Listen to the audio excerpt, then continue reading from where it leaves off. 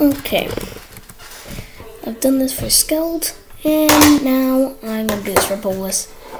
If you don't know guess who is, you create, you choose a character, and you alternate asking your opponent questions to see which character, if you can guess their character correctly.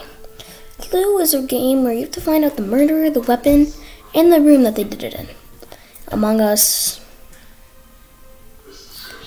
So, yeah, I've done it for Skeld, and now I'm doing this for Polus.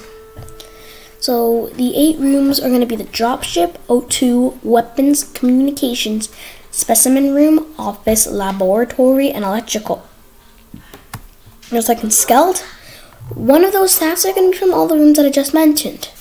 Insert keys, monitor tree, clear asteroids, reset Wi-Fi, router unlock, no, route, Wi-Fi route, reset Wi-Fi out, ra- reset Wi-Fi router, unlock manifolds, upload data, repair drill, and download data. And in Skeld, I chose eight uh, characters, the characters from the rainbow. Obviously, I'm gonna do that again.